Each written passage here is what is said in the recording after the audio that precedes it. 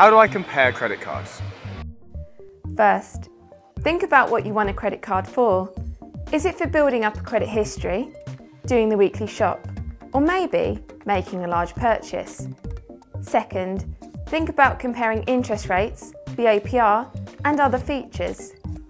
If you apply for too many cards at once, it could make it harder to get credit in the future. You could also try to choose a credit card you're more likely to get, as well as which type of card suits you best.